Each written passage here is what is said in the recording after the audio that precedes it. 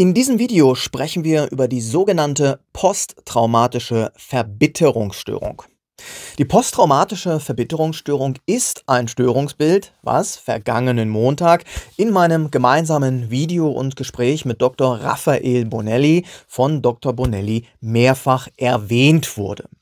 Da ich allerdings davon ausgehe, dass nicht alle meiner Zuschauer, vielleicht sogar die wenigsten, im Detail wissen, was die posttraumatische Verbitterungsstörung genau ist, möchte ich in diesem Video noch einmal etwas Aufklärung darüber schaffen. Und ich kann euch versprechen, wenn ihr in eurem Leben viel Unrecht erfahren habt und deswegen ein latentes, immerwährendes Gefühl von Verbitterung darüber empfindet, seid ihr in diesem Video ganz richtig. Und ihr erfahrt hier natürlich auch fast alles, was es zum Thema posttraumatische Verbitterungsstörung ganz wichtig zu wissen und zu verstehen gibt. Bleibt also auf alle Fälle ganz bis zum Ende dran. Ja, die posttraumatische Verbitterungsstörung. Was soll das jetzt eigentlich sein? Die posttraumatische Verbitterungsstörung wurde zum ersten Mal im Jahre 2003 von Michael Linden von der Charité Berlin beschrieben. Somit ist dieses Konzept tatsächlich eine deutsche, in Häkchen, Erfindung. Bei der posttraumatischen Verbitterungsstörung handelt es sich um eine anhaltende und chronische Verbitterung als Reaktion oder Folge auf erfahrene Traumatisierungen. Das kann zum einen ein einzelnes sehr schweres Trauma sein, es kann sich hierbei aber natürlich auch um wiederkehrende kleinere Traumatisierungen handeln.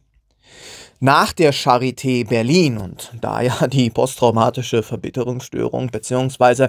dessen Konzept das erste Mal hier oder über die Charité Berlin beschrieben wurde, und die Charité Berlin gibt relativ hohe Zahlen an, wie häufig denn die posttraumatische Verbitterungsstörung in der Bevölkerung vorkommen soll. Und hier zitiere ich von der äh, Internetseite vom Internetauftritt der Charité Berlin. Zitat.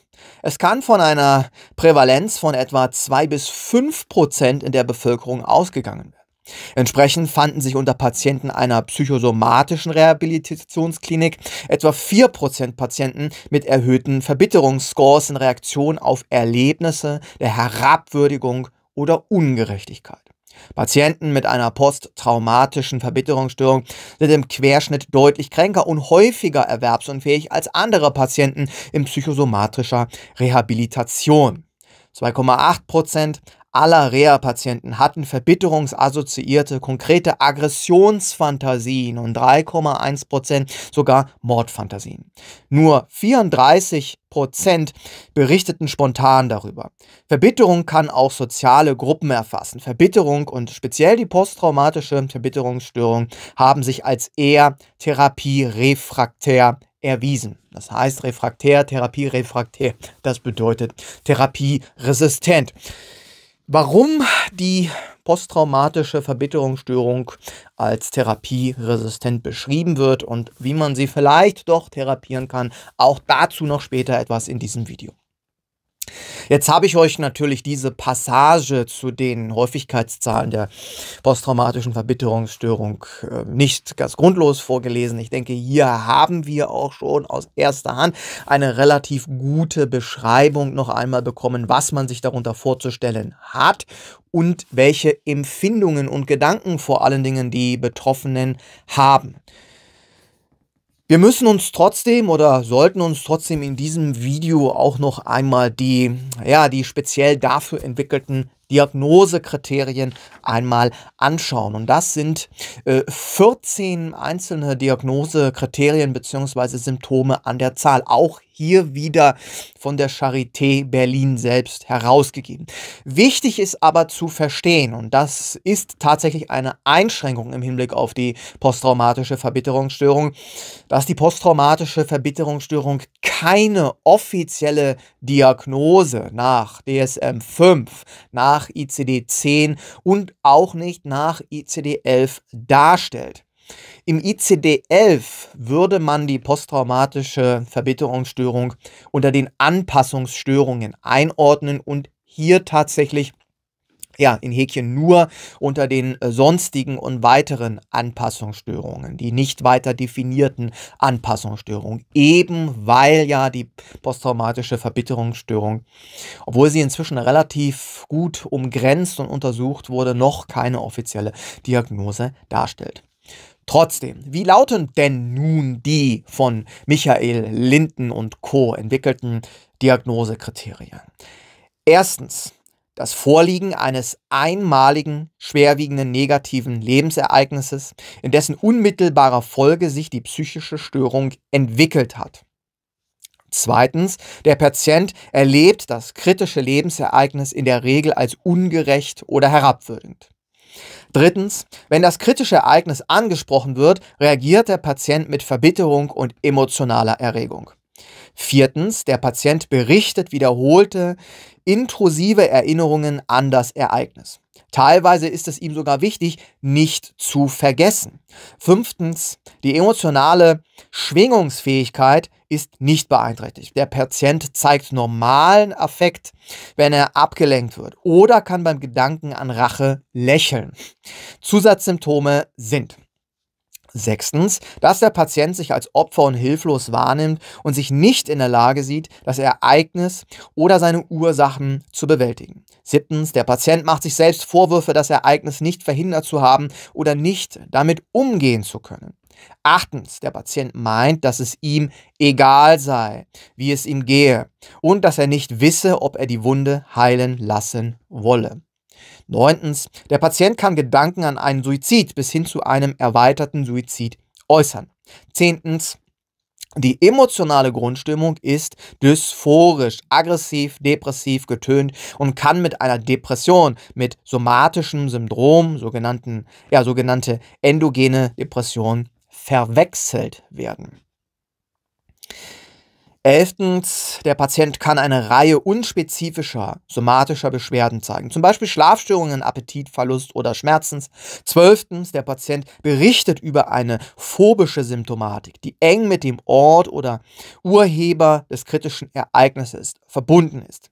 13. Der Antrieb ist reduziert und wird blockiert. Der Patient erlebt sich weniger als antriebsgehemmt, sondern eher im Sinne einer Antriebsverharrung. Und Last but not least, 14. Die Symptomatik kann nicht durch eine vorbestehende andere psychische Erkrankung erklärt werden. Ja, das wären jetzt erst einmal die Diagnosekriterien und damit einhergehend natürlich auch die typischen Symptome für die posttraumatische Verbitterungsstörung.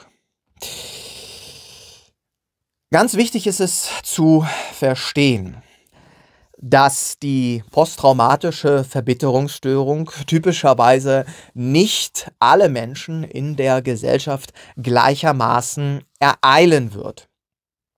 Es gibt eine ganz bestimmte Gruppe von Menschen, die ein erhöhtes Risiko dafür trägt, im Laufe ihres Lebens an einer posttraumatischen Verbitterungsstörung zu erkranken als Reaktion auf ein oder mehrere erfahrene Traumatisierungen. Und das möchte ich hier noch sagen.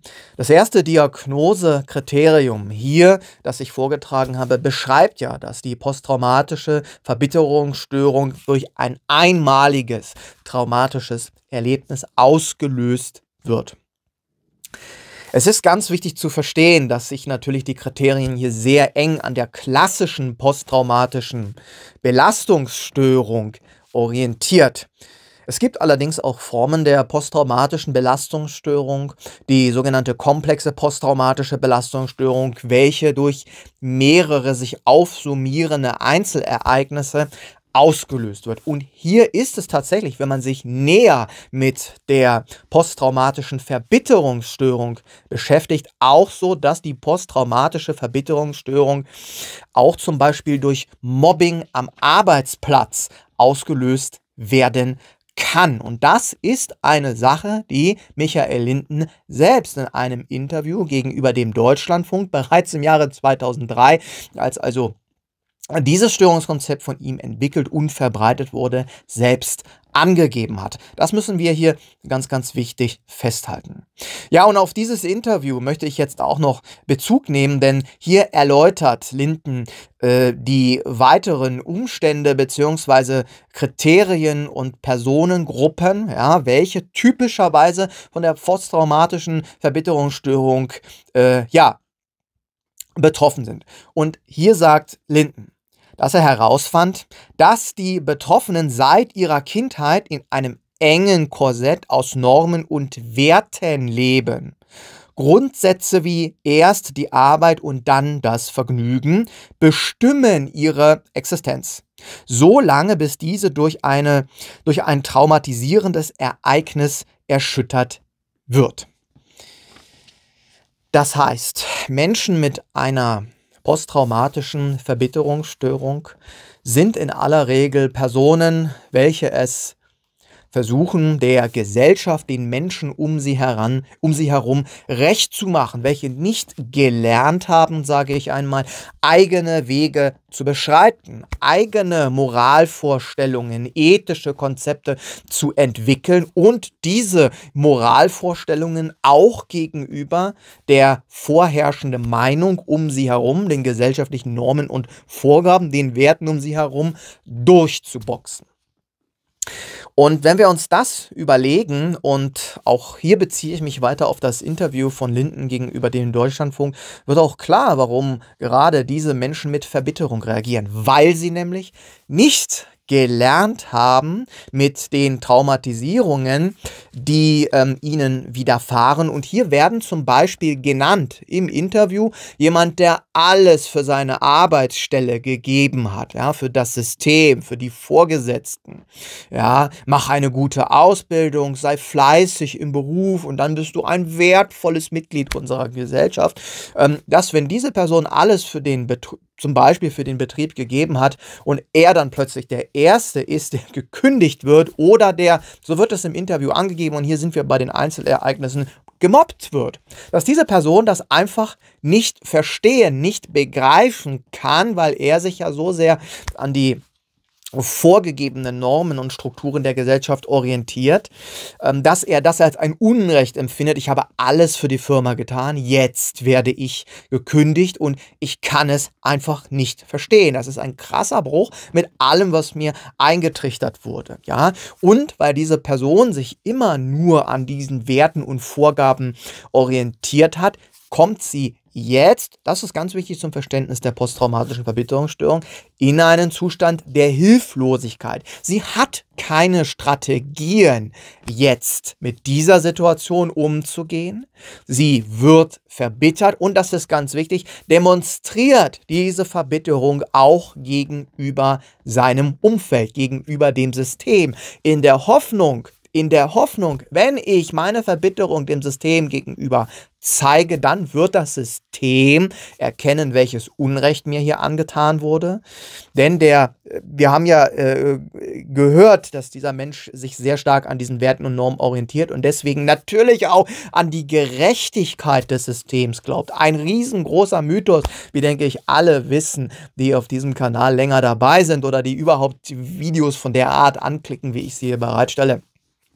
Glaubt natürlich auch daran, dass dieses System gut, gerecht und fair wäre und denkt jetzt, wenn ich meine Verbitterung demonstriere, wenn ich mein Leid klage, dann wird das System dafür sorgen, dass dieses, ja, ja, dummerweise mir oder ihr, der Person widerfahrene Unrecht beseitigt wird. Dann wird mir Recht wiederum geschehen aus dem System. Und hier ist es auch, äh, wenn wir diesen Faktor, ich hoffe, es ist klar geworden, was ich sagen wollte, wenn wir das berücksichtigen, wird auch klar, warum, wenn wir in die Diagnosekriterien äh, schauen, äh, diese Person eventuell sich gar nicht sicher ist, ob er überhaupt in eine Therapie gehen möchte, ob er seine Verbitterung überhaupt behandeln lassen äh, möchte.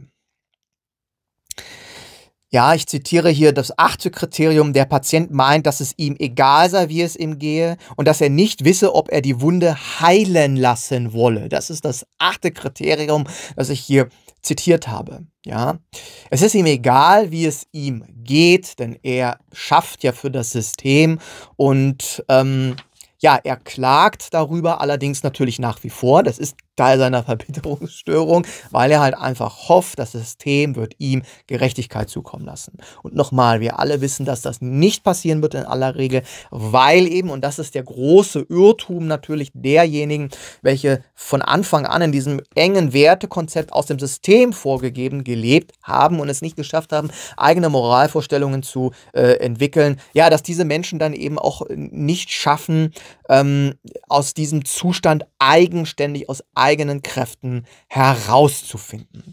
Das alles muss man wissen und bedenken im Hinblick auf die posttraumatische Verbitterungsstörung. Und hier wird jetzt natürlich auch schon klar, wie sich die posttraumatische Verbitterungsstörung gegebenenfalls behandeln lässt.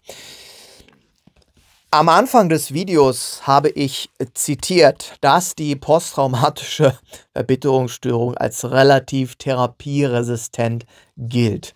Es gibt Ansätze wie zum Beispiel die Weisheitstherapie, welche sich als effektiv dennoch erwiesen haben, zumindest die posttraumatische Verbitterungsstörung ein wenig zu mobilisieren. Aber, und hier mache ich jetzt den Anschluss an ja, den Ideengeber zu diesem Video, Dr. Raphael Bonelli und das Gespräch, das ich am Montag mit ihm geführt und auf meinem YouTube-Kanal veröffentlicht habe. Bonelli gibt in diesem Interview an, dass er durchaus psychotherapeutische Konzepte entwickelt hat und da bezieht er sich auch auf sein neues Buch, wie man eben diese Verbitterungszustände überwinden kann.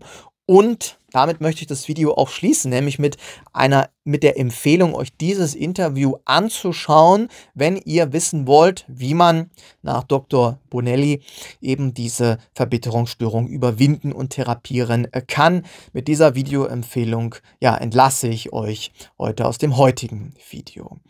Natürlich bedanke ich mich bei euch, dass ihr bis zum Ende dabei gewesen seid.